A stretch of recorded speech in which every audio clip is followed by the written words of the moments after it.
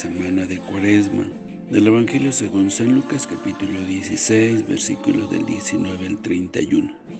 En aquel tiempo Jesús dijo a los fariseos, había un hombre rico que se vestía de púrpura y telas finas y banqueteaba espléndidamente cada día. Y un mendigo llamado Lázaro yacía a la entrada de su casa, cubierto de llagas y haciendo llenarse con las obras que caían de la mesa del rico, y hasta los perros se acercaban a lamerle las llagas. Sucedió pues que murió el mendigo y los ángeles lo llevaron al seno de Abraham. Murió también el rico y lo enterraron.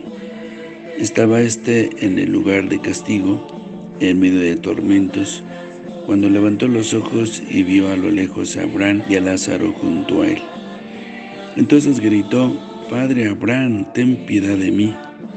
Manda a Lázaro que moje en agua la punta de su dedo y me refresque la lengua, porque me torturan estas llamas. Pero Abraham le contestó, Hijo, recuerda que en tu vida recibiste bienes y Lázaro en cambio males. Por eso él goza ahora de consuelo, mientras que tú sufres tormentos. Además, entre ustedes y nosotros se abre un abismo inmenso que nadie puede cruzar ni hacia allá ni hacia acá. El rico insistió, te ruego entonces, Padre Abraham, que mandes a Lázaro a mi casa, pues me quedan allá cinco hermanos, para que les advierta y no acaben también ellos en este lugar de tormentos. Abraham le dijo, tienen a Moisés y a los profetas que los escuchen. Pero el rico replicó, no, padre Abraham, si un muerto va a decírselo, entonces sí se arrepentirán.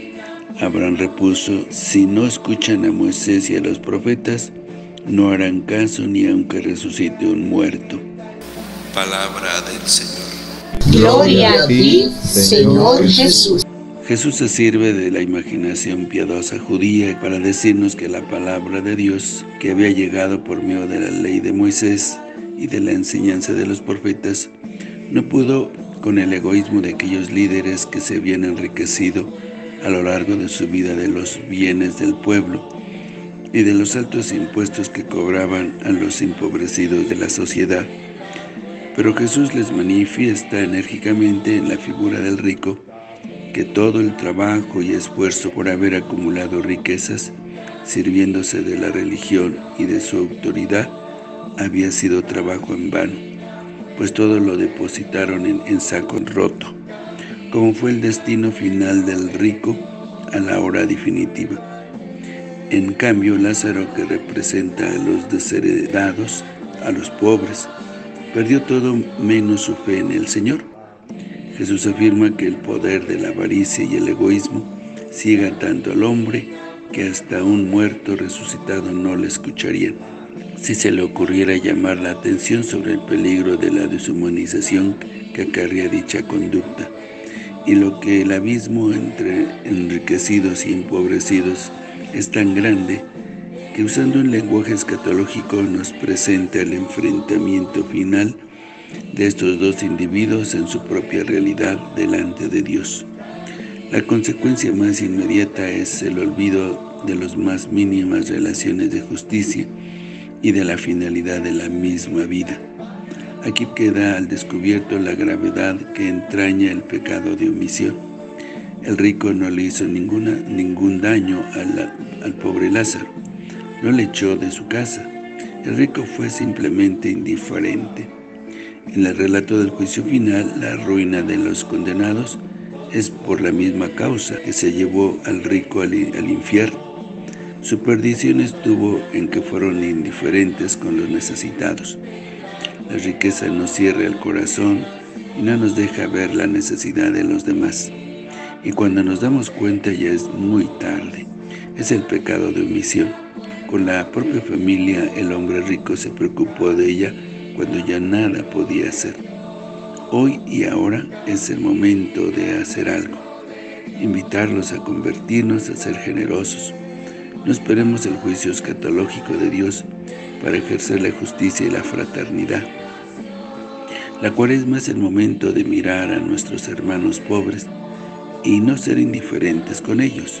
Se nos invita a compartir.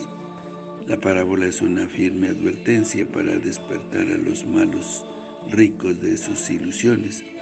El egoísmo de muchos ricos, su seguridad, su irreligiosidad, su cerrazón del corazón, acaban por hacerlos incapaces de ver a los pobres. La muerte no les dice nada, ni la resurrección de un muerto llegará a convencerles. Han perdido el, hábito de ver a los, los signos que Dios les hace en su vida ordinaria. La cuaresma nos invita a que la caridad para con los demás sea concreta, que seamos solidarios, especialmente con los pobres y necesitados. Que el Señor los bendiga. Todos ahora.